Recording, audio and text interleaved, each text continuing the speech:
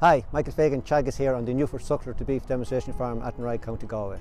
Today I'm going to give you an update on the Newford calving performance of 2022. Newford Farm had 93 cows to calve down this spring, including 17 in-calf heifers. All of the cows and heifers were in calf to five-star terminal bulls such as Fiston, Hideal, Gstaad, Laurel, Kilconnelly Kodaline, Tom Choice Lixcon and Ewdenvale Ivor. At housing, all the cows were penned according to their body condition score and were allowed feeding rates to match their intake requirements. All the cows received 100 grams of pre-calving mineral on top of their silage each morning, and a light layer of lime was spread on top of the slats daily to reduce the risk of bacteria building up in the shed, such as mastitis in late pregnancies. This practice also helped to keep the cow's tits clean and dry, which had a big advantage when the calf was born. All the calving sheds were power washed, disinfected, and bedded down before the start of calving. The first calf arrived on Newford Farm on the 27th of January and the last calf was born on the 5th of April. And at six weeks into calving, 89% of the herd had calved down and all of the 93 cows had calved down within 10 weeks from start to finish. The average weight of all the calves born on the farm was 42 kilos with a calving score of 1.2. 82% of the herd calved down with no assistance required, or in other words, 76 cows out of the 93 cows calved down on their own. At the end of the calving season, out of the 93 cows, there was two sets of twins and 89 live calves.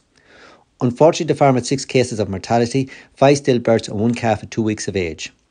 All of the cows calved in the straw bedded calving pens, and when the mother and calf were fit to be moved, they were transferred into larger straw bedded sheds.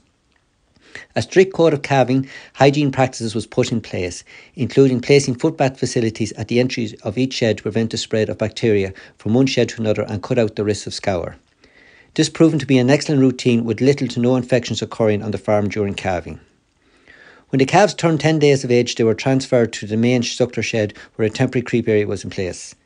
The cows were penned on the slats and the calves had access to a straw bedded area set up in a passageway through a creep gate. This practice was a great saver on straw and labour, and once again all the slats received a light coat of lime daily to prevent infections. This Shardy bull calf, Cyberdermalop Mat, out of a six calver Aberdeen Angus cross cow, was born on the 4th of February at 49 kilos with a calving score of 1. This fine Charlie bull calf, Cyber Lapon, out of a fifth calver Aberdeen Angus cross cow, was born on the 27th of January, 43 kilos, with a calving score of 1. This Limousin bull calf, sired by Laurel, out of a fifth calver Hereford cross cow, was born on the 1st of February at 43 kilos, also with a calving score of 1. On the 28th of February, the first of the 36 cows and their calves went to grass. They had to be brought back indoors once at night time, and this was only for a short period of time. All the calves were vaccinated against pneumonia and received their clostridial vaccination along with being horned as they came of age. All the cows had access to mineral buckets since turnout to grass to prevent grass tetany. By early April, the majority of cows and calves were at grass, and some of the cows had started to cycle and come in heat. These heats are being recorded to assess breeding activity and pick up any early potential issues. This year's breeding season will commence on the 20th of April. For further information, follow us on www.newfordsucklerbeef.ie.